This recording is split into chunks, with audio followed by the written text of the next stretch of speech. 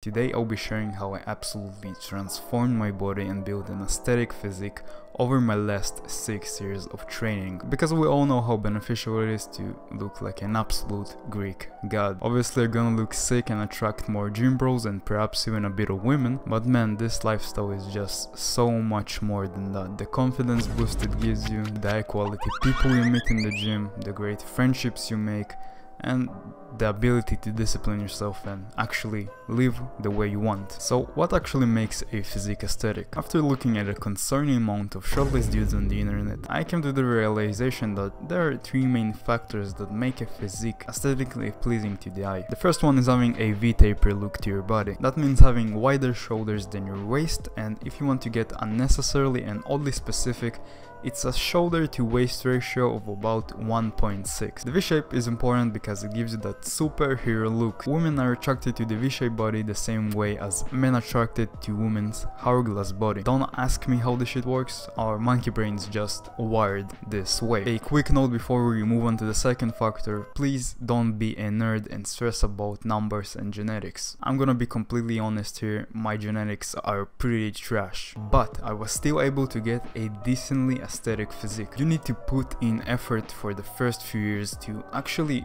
see your genetic potential. So if you're just starting out in the gym, you have no authority to judge your genetics because you don't actually know your potential. Okay, so the second factor is something called the shreds, aka looking like a human cheese grater. Your body fat plays a huge role on your aesthetics. Most people won't look aesthetic above 15% body fat, simply because the additional body fat will be stored around your waist area and it will ruin your V-shape. Also the additional layer of fat will be stored around your stomach and it will cover your abs, making them less visible. So if you're above 15% body fat, the solution is pretty simple. You just need to lose some fat, aka go into a caloric deficit, eating less calories than you burn. And the easiest way to do this is to eat less calories.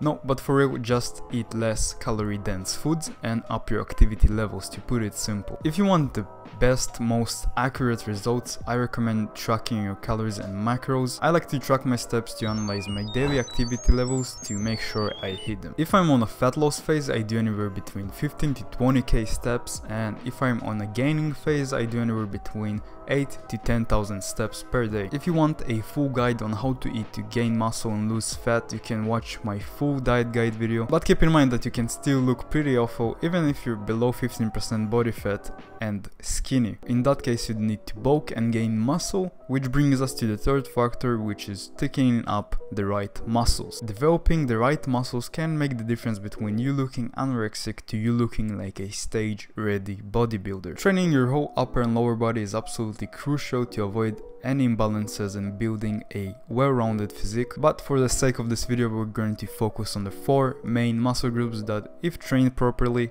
can make you look like an absolute Greek god. The first one is chest. It's a rule. If you want to attract a girl, you want to have larger breasts than her. Also something just looks off when your chest is small and the rest of your body is huge. Most of the advice on the internet will tell you to focus on the upper chest to build a bigger looking chest. But this is just some generic ass advice that won't work for everyone. In my opinion, the lower portion of the chest is just as important as the upper portion. And my lower chest became a bit underdeveloped when I focused on my upper chest. So the absolute best exercises for the chest are going to be your classic pressing movements, like your classic barbell and dumbbell pressing movements, like the bench press or the incline press. And for the best isolation exercises, I recommend doing some type of a fly movement like the simple cable flies or I would recommend doing the incline cable fly. The second muscle group is shoulders. If you have small shoulders, you will look like you never touched a weight in your entire life. Big, nice and round shoulders will give you that wider look for your V-taper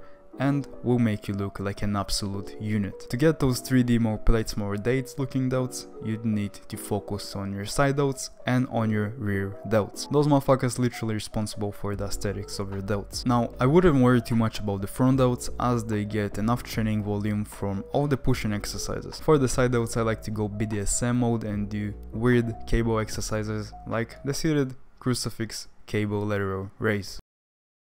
Or just a regular cable raise if you're not feeling kinky. And if you have this machine at your gym, you're a lucky bastard because the pump out I got after this one was fucking stupid. For the rear delts, I usually do the reverse cable flies, or if you have the reverse pec deck machine, you can just do that one instead. The third muscle group is lats. They literally create your V-taper. When people hear about the lats, they automatically think about the back, but the lats are also visible from the front of your body creating that V shape and making you look aesthetic. Lats are a pretty tricky muscle to feel while training and my best advice for feeling your lats is pulling with your elbows and squeezing those elbows to your body to actually engage those lats and feel them. When I first started training, I had a really hard time feeling my lats, so hopefully that helps. I found that the best exercises for the lats are the weighted chin up slash pull up, the high row slash pull down, the close grip row, and the lat pull over. The fourth aesthetic muscle group is abs. Everyone likes a good set of abs, but I see so many fucking people that skip them and don't train them,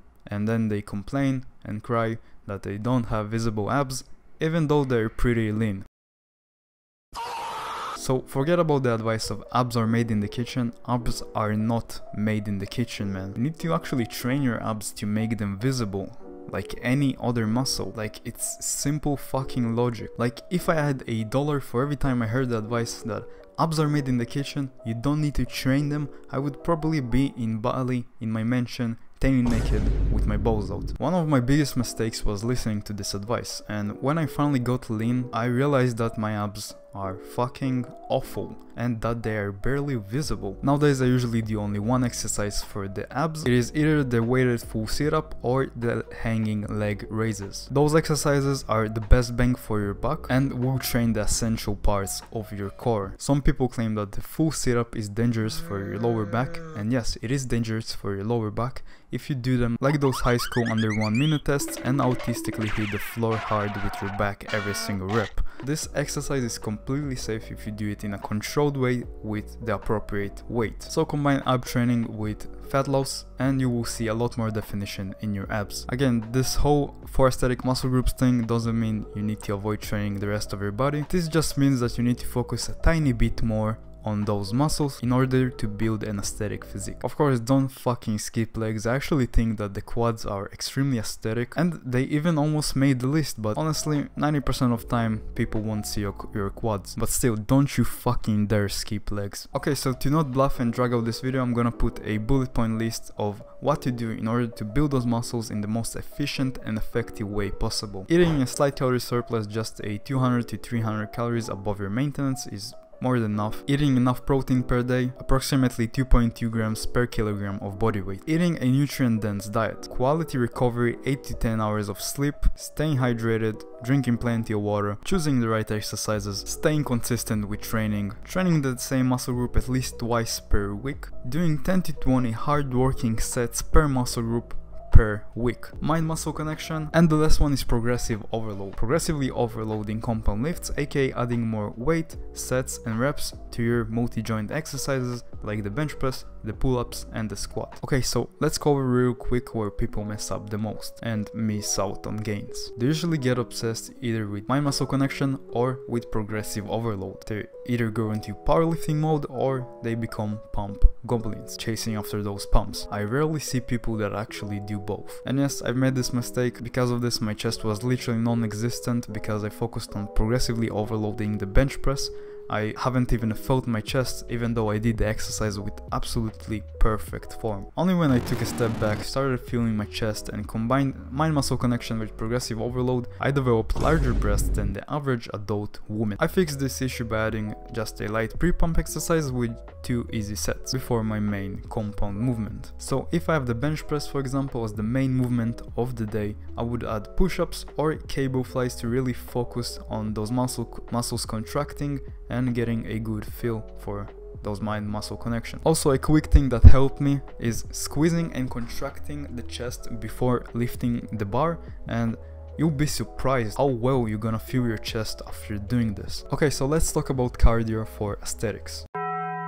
You don't need cardio to lose fat, but it can certainly help you burn more calories, which can put you easier into a caloric deficit. But keep in mind that overdoing cardio will hurt your gains, underdoing cardio will hurt your health in the long term. The data shows you need 150 minutes of steady state cardio to minimize any heart related diseases. Steady state cardio is like an intense walk or a light jog for example you should still be able to breathe from your nose. If your goal is to lose fat or build muscle easily, you should never neglect sleep and recovery. Sleep and recovery is the most underrated thing when it comes to building a good physique. Sleeping more will give you more energy to push your hardest in the gym and set new personal records. While sleeping, our body also releases essential anabolic hormones to build muscle like testosterone and IGF-1. A lack of sleep will also make it hard to lose fat and maintain as much muscle as possible during your fat loss phase because not sleeping enough will put you into a catabolic state. Also, a lack of sleep increases the hormone ghrelin which signals your brain to be more hungry and eat more food and it decreases the hormone leptin which makes you feel full after your meals. 6 hours of sleep won't cut it, 7 hours you'll be still missing out, 8 to 10 hours is the sweet spot, so don't miss out on sleep. I know this is all still pretty confusing, even though this video is absolutely packed with knowledge, you're still going to fuck up.